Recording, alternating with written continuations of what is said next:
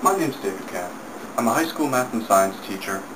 I'm PADI certified, and I'm pretty well traveled. I've been to Japan, Korea, Italy, the Cayman Islands, Egypt, Israel, Jordan, and of course Australia.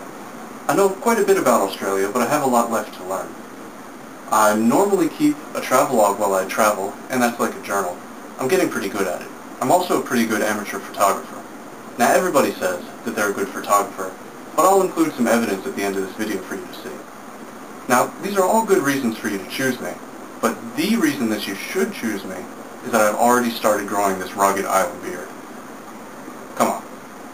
Anyway, enjoy my pictures, and I hope to hear from you. Take care.